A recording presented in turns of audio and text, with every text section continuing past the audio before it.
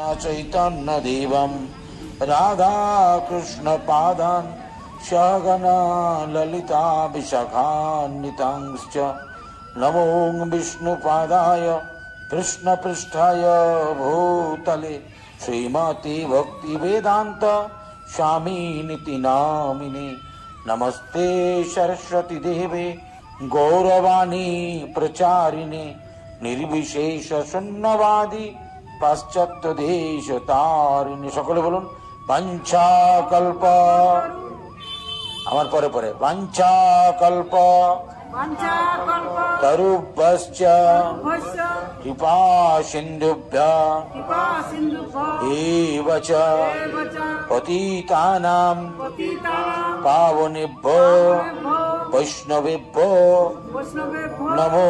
নমঃ। जय श्री कृष्ण चैतन्य। प्रभो नित्यानंद श्री अद्वैत गदाधर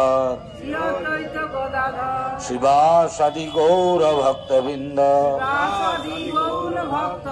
हरे कृष्ण हरे कृष्ण। कृष्ण कृष्ण। हरे हरे হরে রাম হরে রাম। রাম রাম। হরে হরে। আমরা বলেছিলাম পূর্বে ঘোষণা মতো আজকে আমরা কি বলব? ঝুলন বলব। ঝুলন কেন? না কাল থেকে ঝুলন শুরু হবে আমার আর সুযোগ নেই আপনাদের এখানে। একাদশীর থেকে পরপর পাঁচ দিন হয়। একাদশীর থেকে পূর্ণিমা পর্যন্ত। তো সেই পাঁচ দিন আমার একদিন এখানে চান্স পড়ছে না তো সেই জন্য আমি অ্যাডভান্সেই বলব আজকে। শুনবেন আপনারা, শুনবেন? ঝুলন শুনবেন? আর ধারাবাহিক আমরা যেটি বলব, কবি কর্ণপুর। গ্রন্থটির নাম হচ্ছে আনন্দ বৃন্দাবন চম্পু। কি নাম? আনন্দ, বলুন, উচ্চারণ করুন। আনন্দ বৃন্দাবন চম্পু। এই দিব্য গ্রন্থগুলির, এই দিব্য যে পার্শ্বদগুলি রয়েছে এই বৈষ্ণবরা রয়েছেন, এনাদের শুধু নাম উচ্চারণ যদি করি, এই গ্রন্থগুলি যদি নাম উচ্চারণ করি, আমাদের হৃদয় গোলস মার্জিত হয়। এত দিব্য এগুলি। তো, সেখানে বর্ণনা করা হয়েছে খুব সুন্দরভাবে। ঝুলন লীলার কথা, তো ঝুলন লীলার প্রেক্ষাপটটা হচ্ছে এরকম, দুঃখযুক্ত ভাবে। রাধারানী সোজাসুজি চলে যাচ্ছে লীলা তার অনেক কিছু বলা আছে, সময় কম হবে। রাধারানী তো শ্বশুর বাড়ি আপনারা জানেন যাবট যারা বৃন্দাবন গিয়েছেন, তারা সেই টিলার মধ্যে সেই মন্দির দর্শন করেছেন। তো যাবটে তিনি আছেন। সেই সময়কার, শুধু বলব না, এখনও আছে সেই রীতি, যে এই বর্ষার প্রারম্ভে, বর্ষার বৃষ্টির পরে পরেই শরতের আসার আগেই প্রখর গরমের পরে। এই সময়তে বিবাহিত যে সমস্ত রমণীরা রয়েছেন, মায়েরা রয়েছেন, তারা সব বাপের বাড়িতে আসেন। নিয়ে আসার প্রথা। ঠিক আমাদের বাংলা সমাজে যেমন দুর্গা পুজোর সময় হয়, কালী পুজোর ভাইফোঁটার সময় হয় হয় না? ঠিক সেই রকম নিয়ে আসার প্রথা। আর রাধারানী অপেক্ষা করছেন। রাধারানীর ভাইয়ের নাম কি? জানেন আপনারা? শ্রীদাম। শ্রীদাম হচ্ছে রাধারানীর ভাই। তো সেই শ্রীদাম আসছে না। আরও সবাই আসছে। সবাইকার সব ভাইরা এসে নিয়ে যাচ্ছে অন্য অন্য সখীদেরকে নিয়ে গেছে, সব বৃন্দাবন যাচ্ছে। রাধারানীর কেউ আসছে না। রাধারানীর ঘরে দুজন আছেন। জটিল আর কুটিল। জটিলা আর কুটিলা। তাদের ব্যবহার কীরকম? আপনারা বহু কীর্তনে শুনেছেন। বিশেষভাবে আপনারা জানেন। তো তারা এত মিষ্ট বাক্য বলেন যে, চোখ দিয়ে অশ্রু ছাড়া কিছু নির্গত হয় না। এমন বাক্য তাদের সম্পদ। তারা সেগুলো বলছেন। এবং সেগুলো শুধু বলছেন হ্যাঁ সময় অসময় সুযোগ পেলেই বলেন। রাধারানী চোখের জল ফেলেন। কিন্তু এই রাধারানীর চোখের জল ফেলাটাকে জাগতিক চাওয়া পাওয়ার মধ্যে আপনারা রাখবেন না। এরকম নয়। এই চোখের জল ফেলার কারণটা কি? প্রকৃতপক্ষে এই চোখে জল ফেলার কারণ হচ্ছে কৃষ্ণ বিরহ। কৃষ্ণ বিরহই এই অশ্রুর কারণ। তো শাস্ত্রে বর্ণনা করা হচ্ছে এই গ্রন্থে যে সেই অশ্রুগুলি যেন জমা হচ্ছে, আর সেই বাহিত অশ্রু জমা হয়ে সেই অশ্রু সূর্যের দ্বারা নিঃশেষিত হয়ে শোষণ করে নিচ্ছেন। শোষণ করে তারপর তা বৃষ্টি রূপে বর্ষিত হচ্ছে বৃন্দাবনের মধ্যে। ফলে কি হয়? বৃষ্টি হয়েছে তখন কি হচ্ছে? গাছপালাগুলো কীরকম লাগছে? আমাদের তো ইন্ডাস্ট্রিয়াল বেল্ট কলিয়ারি বেল্ট তবু কেমন লাগছে? সবুজ। চারিদিকে সবুজিমা চারিদিকে শ্যামলিমা। সবুজে সবুজ হয়ে যায়। তো বৃন্দাবনের এই সবুজটা কি? কিসের জন্য হচ্ছে? না ওই রাধারানীর অশ্রু। যখন বর্ষা রূপে পুরো বৃন্দাবনে বর্ষিত হলো, তখন সেটা অশ্রুর গুণাবলী আর থাকল না। কি থাকল তার মধ্যে? আনন্দের গুণাবলী হয়ে গেল। আনন্দ অশ্রু হয়ে গেল। কেন? না, এটা হচ্ছে কৃষ্ণ মিলনের সূচনা। কৃষ্ণ মিলনের জন্য পরিবেশ সৃষ্টি। চারিদিক সবুজ হয়েছে। আপনারা অনেকেই জানেন, অনেকে জানেন না যে ঝুলনের পূর্বেই বৃন্দাবনে একটি বিশেষ অনুষ্ঠান অনুষ্ঠিত হচ্ছে, যার নাম হচ্ছে হরিয়ালি তিজ। কি নাম? হরিয়ালি তিজ। হরিয়ালি মানে বুঝতেই পারছেন, সবুজ। এই সবুজে সবুজায়ন করে বিভিন্ন গাছ, পাতা সুন্দরভাবে নিয়ে এসে ভগবানকে সুন্দরভাবে সন্তুষ্ট করার জন্য হ্যাঁ? এই ভগবানের সন্তুষ্ট করার জন্য এই বিষয়টা আমরা বলি অনেক সময় জাগতিক চিন্তার জন্য কিছু আমরা ভুল ভাবি। কীরকম? না, ভগবান কি তাহলে অসন্তুষ্ট আছে? ভগবানকে সন্তুষ্ট করব না দিলে অসন্তুষ্ট হয়ে যাবে? না, এটা জাগতিক চিন্তা। সন্তুষ্টি মানে কি? আমার হৃদয়ের সন্তুষ্টির জন্য আমি ভগবানকে সেবার সঙ্গে সংযুক্ত হচ্ছি। ভগবান সদা সন্তুষ্ট। ভগবান কখনো অসন্তুষ্ট হন না। ভগবান সবসময়তেই সদা তৃপ্ত। আপনাকে অতৃপ্ত জানতে হবে না, তিনি সদা তৃপ্ত। অতৃপ্ত আমরা, এটা আমাদের গুণ। তো, সমস্ত বৃন্দাবনে, হরিয়ালি, তীজ, ওই রাধারানীর ওখান থেকে এই সন্তুষ্ট, এটা হচ্ছে মূল বিষয়। এখন বাড়িতে শ্বশুর বাড়িতে যখন কেউ আসছে না, তখন তো কথা খুব শুনছেন, আর দু চোখ নিচু করে আবার ক্রন্দন করছেন রাধারানী। তো এইরকম সময়তে হঠাৎ করে কোনো এক সখী পাশেই থাকেন, তিনি এসে খবর দিচ্ছেন যে সিদ্ধাম আসছে। সিদ্ধাম আসছে? কীরকম সিদ্ধাম আসছে? না, দেখা যাচ্ছে দূর থেকে আসছে অনেক গাভী নিয়ে আসছে। কি ব্যাপার? না, সিদাম অনেক উপঢৌকন নিয়ে আসছে, বোনের বাড়িতে আসছে। বিশেষ করে কিছু গয়না, কাপড়, কার জন্য নিয়ে আসছে? একদম উল্টোটি, জটিলা আর কঠিনার জন্য। রাধারানীর জন্য কিচ্ছু আনছেন না। কেন? না, তাহলে তাদের মুখ বন্ধ হবে, তাহলে আমার বোনের অশ্রু বন্ধ হবে। এই চিন্তা ভাবনা। আর সমস্ত গাভী আর এই সমস্ত জিনিসপত্রতে তখন গাভী ছিল সম্পদ। আমাদের এখন যেমন নোট সম্পদ, তখন গাভী সম্পদ ছিল। তো দুগ্ধজাত গাভীগুলিকে যখন সে নিয়ে এসেছে অলংকার আদি যখন সে নিয়ে এসেছে, তখন তারা অত্যন্ত আনন্দিত হয়েছে। আর আনন্দিত হয়ে পড়ে তারা বলছে হ্যাঁ বাবা, নিয়ে যাও নিয়ে যাও নিয়ে যাও, এরকম বলছে।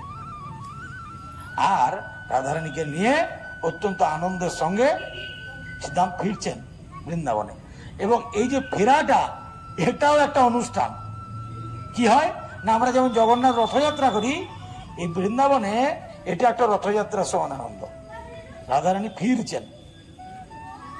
তা রাধারানী ফিরেছেন। ফিরে আসার পরেই বাড়িতে গেছেন। আর বাড়িতে যেই মায়ের কি নাম? রাধারানীর মায়ের কি নাম? কীর্তিদা সুন্দরী কি নাম? কীর্তিদা সুন্দরী তো মা কীর্তিদার কাছে যে অনুমতি চেয়েছেন মা আমি কি একটু বনে যাব? তো মা সঙ্গে সঙ্গে অত্যন্ত আনন্দ হয়ে বলছে হ্যাঁ মা নিশ্চয়ই যাবে। এখানে একটা জিনিস বোঝার আছে আমাদের যে সকলের জন্য বনে কি থাকে? বিষাক্ত জীব থাকতে পারে সাপ থাকতে পারে, বিছা থাকতে পারে হ্যাঁ? কামড়ে দিবে কি এরকম হিংস্র পানি থাকতে পারে? কিন্তু রাধারানীর ক্ষেত্রে এই ঘরের মধ্যেই বিষাক্ত জীবগুলো রয়েছে। আর তার জন্য বনটা হচ্ছে সুরক্ষা। বনটা তার আনন্দের বিষয়, বৃন্দাবন। সেই জন্য আমরা গাইছিলাম বৃন্দাবন রম্য স্থান। রম্য মানে আনন্দ উপভোগের রম্য বলা হয় বৃন্দাবন রম্য স্থান দিব্য চিন্তামণি ধাম। কেমন? না দিব্য চিন্তামণি সেখানে রয়েছেন। রতন মন্দির মনে হয়। তো ঝুলনের জন্য ডেকোরেশন হচ্ছে, সাজানো হচ্ছে, খুব সাজাচ্ছে সকলে। আর সেখানে এসে সেই রাধারানী সেগুলো দেখছেন, আনন্দ পাচ্ছেন।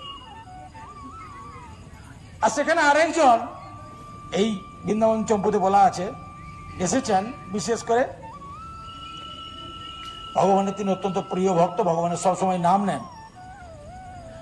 তো প্রথমে এটা ফার্স্ট ফরওয়ার্ড করে একটু করে শুনতে হবে। যার কথা বলছি, বৃন্দাবনের বনে ঢুকবেন, তিনি অন্য কেউ নয় সং নারদমণি এই নারদমণি কি করেন? না বিনা দিয়ে ভগবানের নাম অনবরত কীর্তন করেন। নারদ মুনি বাজাই বিনা রাধিকা রমন নামে। তো সেই এত সুন্দর দিব্য নাম, যুগল নাম কীর্তন করছেন যে স্বয়ং ভগবান বলছেন যে, নারদ, আমি অত্যন্ত খুশি হয়েছি আজকে। নাম শুনে, তুমি করো সব সময়, কিন্তু আজকে মনে হচ্ছে আরও দিব্যতা বেশি। আমি তোমাকে বর দিতে চাই। নারদ মুনি হিসাব লাগিয়ে দিয়েছেন সঙ্গে সঙ্গে। বলছে, প্রভু, আমি বরটা নেব, কিন্তু এখন নেব না, পরে নেব। বুঝে গেল? তাহলে ফার্স্ট ফরওয়ার্ড করে এটা আগে শুনলাম। এটা আগে হয়ে আছে। এখন নারদমণি বনে এসেছেন, ঘুরতে ঘুরতে। উপরে অন্তরিক্ষে, নিচে সব জায়গাতে ঘুরেন, যেখানে খুশি যেতে পারেন। আর সবসময় দিব্য নাম কীর্তন করেন। দেখছেন? দিব্য শোভা। কি? না? বৃন্দাবনের অপরূপ শোভা। উপর থেকে দর্শন করে নামতে বাধ্য হয়েছেন। নেমে এসে দেখছেন যে অত্যন্ত অপূর্ব সুন্দর সাজানো হচ্ছে। সাজানো মানে একটু জাগতিক চিন্তার থেকে বেরিয়ে আসুন কীরকম সাজানো দেখুন। আমরা যখন ভগবানকে সাজাই, অল্টারের মধ্যে সাজাই, কোনো জায়গায় সাজাই, কোনো জিনিসগুলোকে নিয়ে এসে ঘাস কেটে নিয়ে আসলাম, বলুন, গাছের লতা পাতা কেটে নিয়ে আসলাম, বলুন, লাগালাম। এখানে কিন্তু কোনোটা এরকম কেটে নিয়ে আসা হয়নি। আগের থেকেই প্রস্তুতি চলছে তো? মালতীর অরিজিনাল গাছ সেখানে রয়েছে। সে পুষ্প ফুটেছে। মালতীরে কেন বললাম? সুগন্ধি ফুল আপনারা কাছাকাছি দেখতে পান সেই জন্য মালতী বললাম। এই ছাড়াও অনেক পুষ্প আছে যা আমরা দেখিনি চোখে কোনোদিন, কিন্তু সুগন্ধি অত্যন্ত দিব্য তার মধ্যে একটা হচ্ছে পারিজা দেখেছি আমরা কোনোদিন? তো আপনারা বলতে পারেন যে আপনি তো জোরপূর্বক বলছেন পারিজাত তো স্বর্গের ফুল। তো যেটা বৃন্দাবনে নেই, সেটা কোথাও নেই। ভগবানকে সন্তুষ্ট করার জন্য ঋতু অনুযায়ী প্রত্যেকটি ফুল ওই ঋতু অনুযায়ী যারা ফুটে, তারা সমস্ত টাইম ভুলে যে রাধাকৃষ্ণের স্পর্শ পাওয়ার জন্য, রাধাকৃষ্ণকে সন্তুষ্ট করার জন্য, পরিবেশ তৈরি করার জন্য, তারা সকলে ফুটে উঠেছে। গরমকালেরও ফুটে উঠেছে, বর্ষাকালেরও ফুটে উঠেছে, শীতকালেরও ফুটে উঠেছে, বসন্তেরও ফুটে উঠেছে। সব দিব্য বনশোভা তৈরি হয়েছে। বাতাস উনপঞ্চাশ বায়ুর কথা আপনারা শুনেছেন রাসলীলাতে। সেই মৃদুবন্ধ বাতাস বইছে। কি জন্য? না এই রাধাকৃষ্ণ সেবায় সংযুক্ত হওয়ার জন্য। যে ঝুলা তৈরি করা হয়েছে, ঝুলন দোলনাটা, সেটাও একদম পুরোপুরি সজীব। দড়ি বেঁধে দড়ি টড়ি কিছু ব্যাপার নেই, লতাগুলো মধ্যেই তৈরি করা হয়েছে। তার সাইজটা বর্ণনা করা হয়েছে যেন অন্তরিক্ষে তা সংযুক্ত করা হয়েছে, এত লম্বা লম্বা গাছের কথা বলা হয়েছে। আর চাঁদ চাঁদ বলতে গেলে আবার সমস্যা হ্যাঁ? চন্দ্রযান থ্রি কিন্তু চাঁদ তো আলো দেয়, এটা তো সত্যি। সেই চাঁদের স্নিগ্ধ আলো এমন ভাবে বর্ষিত হচ্ছে সেই চাঁদ যেন ওই ডেকোরেশনে সবকিছু ভালো করে দেখতে পাচ্ছে না। আড়াল হয়ে যাচ্ছে। সেই জন্য যেন কাছেই চলে আসছে। ঝুলন পূর্ণিমায় চাঁদটা কত বড় হয়? রাখি পূর্ণিমা, ঝুলন পূর্ণিমা। সেই জন্য এসে একটু বর্ণনা করছেন বৈষ্ণব কবিরা। যেন একদম ওখানে এসে দেখতে চাইছে। আর অন্তরিক্ষে গন্ধর্ব লোক থেকে, কিন্নর লোক থেকে, দেবতাদের লোক থেকে, তারা সকলে নিজে নিজে যার নিয়ে এসে উপস্থিত হয়ে পড়ে, অংশগ্রহণ করার চেষ্টা করছেন। কিন্তু প্রবেশ অধিকার সেখানে সকলের নেই। শুধু ব্রজবাসীদের, গোপীদের প্রবেশ অধিকার সেখানে। তো সেখানে এসে নারদমণি এলেন, আর নারদমণি এসে যখন জানতে চাইছেন যে কি, এখানে এত সুন্দর ডেকোরেশনের কারণ কি? না রে বাবা ঝুলন হবে সেই জন্য শুনে নিলেন এবং পরিকল্পনা সাজিয়ে নিলেন। কি পরিকল্পনা সাজালেন? না, এই প্রস্তুতি হয়ে গেছে, এখনই হবে। সকলে এসে উপস্থিত হয়েছে, সেজে গুজে এসেছেন। তখন প্রভুর দিকে তাকাচ্ছেন। কৃষ্ণকে দেখতে পেয়েছেন এবং কৃষ্ণর কাছে যেয়ে বলছেন, প্রভু, আমি তো অত্যন্ত মনের বাসনা একটা নিয়ে এসেছি। তা আপনি বলেছিলেন যে একটি বর দেবেন, তো সেটি যদি আজকে দেন তাহলে খুব হবে আজকে? বলো, কি বলছো তুমি? বলছি, আমি তো অনেক কিছু দেখেছি, কিন্তু ললিতা দেবীর সঙ্গে আপনাকে কখনো ঝুলতে দেখি নাই আমি চাই যে আপনি ললিতা দেবীর সঙ্গে ঝুলুন, ঝুলাতে, সকলে ঝুলাবে। সেইটা আমি দেখে অত্যন্ত আনন্দ পেতে চাই। বলছি আর কি? ললিতা সখীকে ডেকে পাঠা হয়েছে। ললিতা সখী রাজি হয়নি।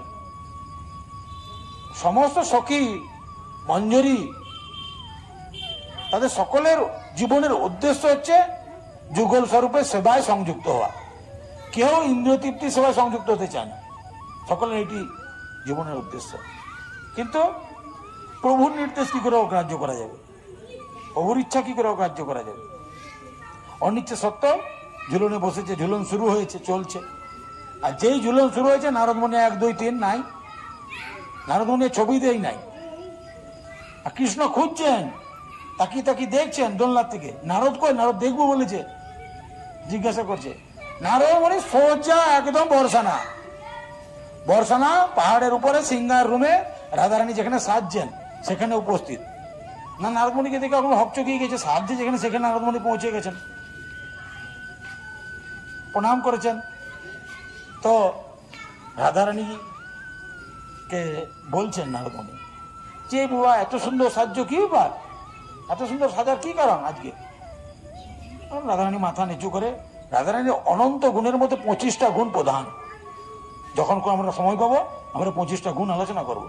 তার মধ্যে একটা হচ্ছে লজ্জাশীলা, অত্যন্ত লাজুক। আর এমনিতেই বাংলাতে একটা প্রবাদ আছে, সেটা আপনারা জানেন, ওটা আমি বলছি না। জানেন কি না? লজ্জা কার ভূষণ লজ্জা নারীর ভূষণ তো সেটি অত্যন্ত দিব্যভাবে রয়েছে রাধারানীর মধ্যে। তা লাজুক ভাবে মাথা নিচু করে তিনি বলছেন, সেই ঝুলন লীলার কথা ঝুলন হবে সেখানে যাবে। নারদমণি এখানে শুরু করে দিয়েছেন তার প্রজেক্ট বলছে, ঝুলন হবে? কেন? বলছে, আমি তো দেখলাম ঝুলন হচ্ছে, চলছে। হ্যাঁ ঝুলন চলছে মানে? বলছে হ্যাঁ আমি দেখে এলাম, ঝুলন চলছে তো। তুমি চলো আমার সাথে, তোমাকে দেখাও। রাধারানীকে নিয়ে এসে দূর থেকে কি দেখাচ্ছে? কে ঝুলছে? এই ললিতা সখীর সঙ্গে যখন ঝুলন দেখছেন নারদমণি এটি ঢুকিয়ে দিয়েছেন ভিতরে। এখন রাধারানী অত্যন্ত কোমল স্বভাবের আর তার সেই কোমল স্বভাবের মধ্যে যেন বজ্রের আঘাত হলো। তিনি সিংহারকে খুলে ফেললেন। আর যে পরে ওখান থেকে অনতি দূরে একটি জায়গায় নিবৃত কক্ষে বসে তাকে মান কক্ষ বলা হয়। সেখানে যেয়ে তিনি উপস্থিত সেখানে বসলেন। এদিকে নারদমণি আবার যখন আসছেন নারদমণি ওটা দেখেই দেখছে আজ যাওয়া যাবে যা স্থিতি হয়ে গেছে। কি করতে গেলাম আর কি হলো মনে বেশি বড়বড়ি হয়ে গেল। ভগবান অন্তর্জামী সবই জানেন। লীলা সারতে করছেন, লীলা পুরুষোত্তম কৃষ্ণ।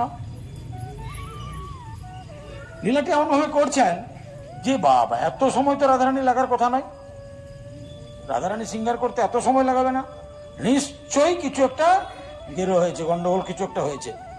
আর গন্ডগোলটা নিশ্চয়ই নারদ দিকেই হয় নারদ এখানে ছিল, নারদের এরকম পরিবেশে থাকার কোনো কারণ নেই। সে এখানে এসছে, তারপরে আবার গেছে, কিছু একটা করেছে। সবাই খোঁজ খোঁজ খোঁজ, সন্ধান নিয়ে দেখা যাচ্ছে, যা ভেবেছে তাই। কি হয়েছে? না, রাধারানী মান করেছেন। তো মান ভাঙানো যাবে কি করে? তো সাধারণভাবে যে মান ভাঙানো যে লীলা আপনারা শুনেছেন, সেই মান এটি নয়। কারণ সময় অতিক্রান্ত হয়ে যাবে, ঝুলন হতে হবে। আর আপনারা সকলেই জানেন ঝুলন হয়েছে। তো সখীরা খুব করে বোঝালেন, কৃষ্ণ যে সেখানে বোঝালেন এবং স্বয়ং সেখানে নারদ উপস্থিত হলেন এবং নারদ ক্ষমা চাইলেন বললেন তাহলে এইটি অনুষ্ঠান করার কারণ কি? না ওই বিরহ কি করে? না মিলনের আনন্দকে অধিক বর্ধিত করে?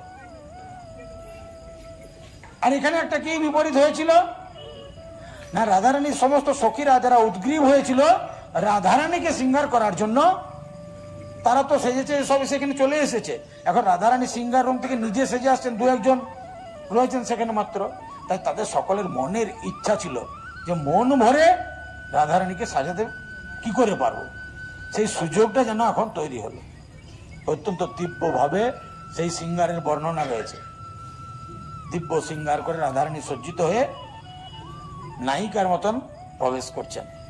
অষ্টদলে প্রধান নায়িকা অষ্টদল মানে?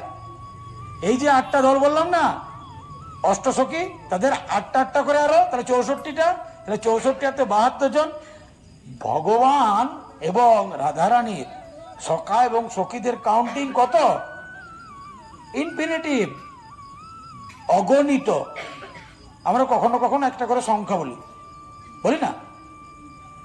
যত গোপী তত শ্যাম শত কোটি বলে দিই কখনো কখনো। আসলে ইনফিনিটিভ অগণিত। এখন ইনফিনিটিভ যদি বলি, তাহলে এবার যদি অসংখ্য জনমানুষ একসঙ্গে জড়ো হয়ে যে কলরব তৈরি হয়, সেই জাগতিক চিন্তা ভাবনাগুলো নয়, এটা সত্যি নয়। কেন? অষ্টআশি হাজার মানুষ সৌনক ঋষি সহ নৈমিসারণ্যে ভাগ্য শুনলো মাইক ছাড়া। কারোর কোনো অসুবিধা হলো না এবং নিশ্চিতভাবে শুনতে পেলেন।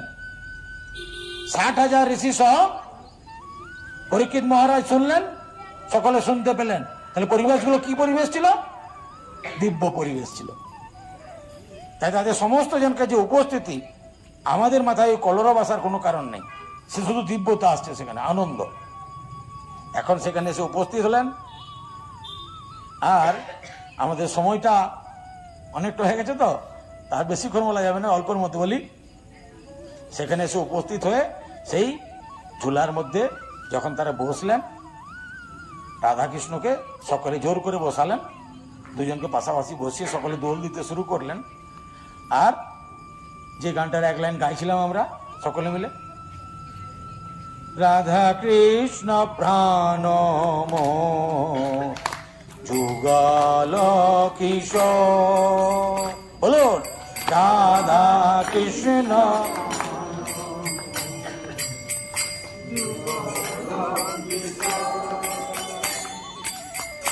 জীবনে মরণে গতি আর নাহি ম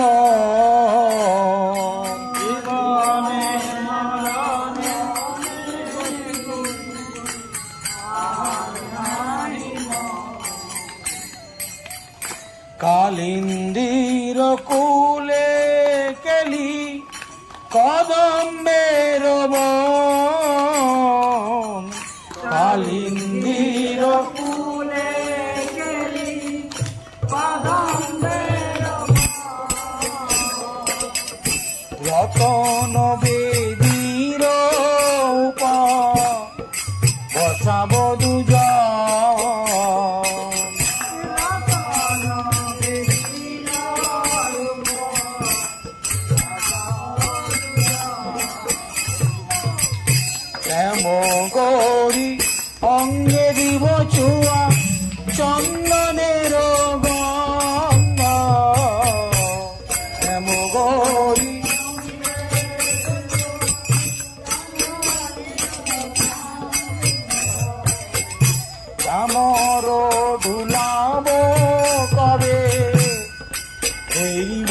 মুখ চন্দ্র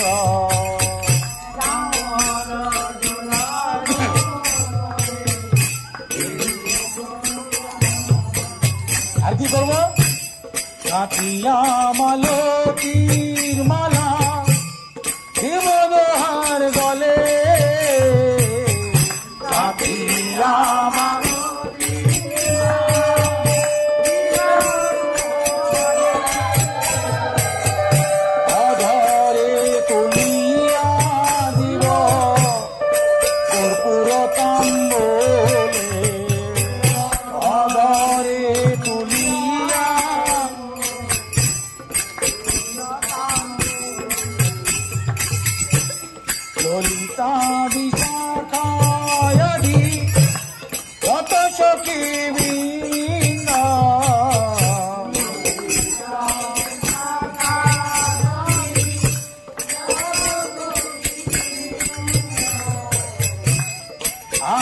আজ্ঞাই করিব সেবা। করোনার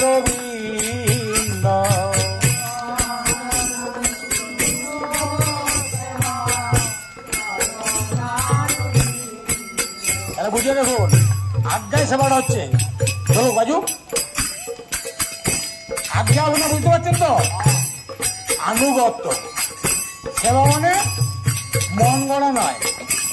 তাহলে সখীদের আনুগত্যে সেবা হবে। ললিতা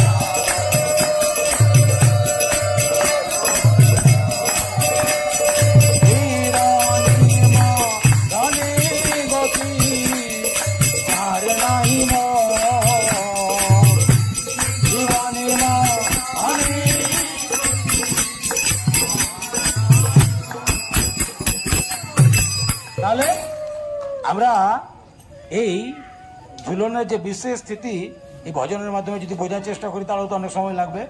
যেহেতু বাংলা লেখা আছে, আমরা সকলে বুঝেছি। স্থিতিটা হলো এরকম যে সেবা হচ্ছে ওখানে, আনুগত্যের সঙ্গে সেবা হচ্ছে। আর আনুগত্যের সঙ্গে শুধু হচ্ছে না, আনুগত্য মানে কিন্তু আবার আমাদেরকে বুঝতে হবে যে আনুগত্য মানে স্থিতিটা ভয়প্রদ ওখানে কখনোই নয়, আনন্দপ্রদ। সবাই আনন্দের সঙ্গে সেবা করছেন। কিন্তু আনুগত্যের সঙ্গে করছেন। এখানে সামান্য এক কোণা আপনার অনুভব করুন। সবাই সুস্থভাবে বসতে পায়নি অনেকের কোমরে ব্যথা হচ্ছে? বয়স্ক মানুষ? হ্যাঁ? সবাই চুপ করে বসে আছেন। কেন? আমার দুর্মুখ থেকে শুনছেন। কেন? না, ভগবানের নামের এমন মহিমা। সে কি করছে? না, এই পরিবেশটাকে সুস্থ করে নিচ্ছে। আর সেখানে তো কোনোই অসুস্থ পরিবেশ নেই, সুস্থ পরিবেশ সেখানে। এখন ঝুলনটা এক মিনিট বলব। দিয়ে শেষ করে দেবো। আমি জানি সময় হয়ে গেছে। তো সেখানে এখানে যখন ঝুলন হলো, সমস্ত সখীরা ঝুলাচ্ছেন। তো ঝুলাতে ঝুলাতে ইশারা করে করে কারুকে কারুকে ডাকছেন। কৃষ্ণ কারুকে ডাকছেন। কখনো রাধারানী চোখের ইশারে কারুকে ডেকে দিচ্ছেন। কৃষ্ণ হাতের ইশারা করছেন আর রাধারানী চোখের ইশারে কারুকে কারুকে ডেকে নিচ্ছেন। বানরকে ডেকেছেন, ময়ূর ময়ূরকে ডেকেছেন কপত কপতিকে ডেকেছেন হ্যাঁ? হরিণকে ডেকেছেন ডাকছে আর বসাচ্ছেন। আর এই দিব্য ঝোলাটা কীরকম? আগে আর পিছে আমাদের সমস্ত ঝোলা, এই ঝোলাটা সেরকম না। এই স্পিরিচুয়ালিটি চারিদিকে ঘুরতে পারে, সব জায়গাতে যেতে পারে, গোল করে ঘুরতে পারে। দিব্য তাই সকলকে ডাকছেন না চাপাচ্ছেন। কত বড় ঝোলা। বেড়ে যাচ্ছেন বেড়ে যাচ্ছেন। যাদিকে ডাকছে, সবাই কুলিয়ে যাচ্ছে। সবাই কুলিয়ে যাচ্ছে। সবাইকে ডাকছে। গোপ সখাদিকে ডাকছেন, সখীদেরকে ডাকছেন। দেখা যাচ্ছে সবাই আস্তে আস্তে ঝুলার মধ্যে। আর হঠাৎ করে দেখা যাচ্ছেন রাধা, কৃষ্ণ দুজনেই নেই। কোথায় গেল কোথায় গেল? তখনই দেখা যাচ্ছে যে ঝুলাটা ঝুলাচ্ছে কে? স্বয়ং রাধাকৃষ্ণ নিজেই ঝুলাচ্ছে। তাহলে আনন্দ বৃন্দাবন চম্পুর এই বিশেষ লীলাতে আমরা দেখতে পাচ্ছি যে ভক্তবৎসল ভগবান। তাদের স্থিতিটি কি রকম? না ভক্তবাৎসল্য হেতু। তারা আমাদের মঙ্গল কামনায় আমাদেরকে আনন্দ দান করার জন্য তারা নিজেদেরকে ঝুলানোর পর্যন্ত জায়গাতে নিয়ে যেয়ে, আর আমরা তো সকলে সেই রূপে যেখানে রাধারানী কৃষ্ণ ঝুলছেন সেই রূপে অবশ্যই আরাধনা করব। কিন্তু মূল বিষয়টি বোঝার চেষ্টা করুন। এটি হচ্ছে ভক্ত আর ভগবানের আদান প্রদান ভক্তের ভগবান। এখানে ঝুলন লীলাটি আজকের মতো আমি সমাপ্ত করলাম। আর সম্ভব হলো না বলরাম জয়ন্তী পরে কোনোদিন আমরা বলে দেবো বলরাম জয়ন্তী সম্পর্কে। হরে কৃষ্ণ হরে কৃষ্ণ কৃষ্ণ কৃষ্ণ হরে হরে হরে রাম হরে রাম রাম রাম হরে হরে। ঝুলন যাত্রা মহামহোৎসব কি? গৌর প্রেমানন্দে। হরে কৃষ্ণ আপনাদের অশেষ ধন্যবাদ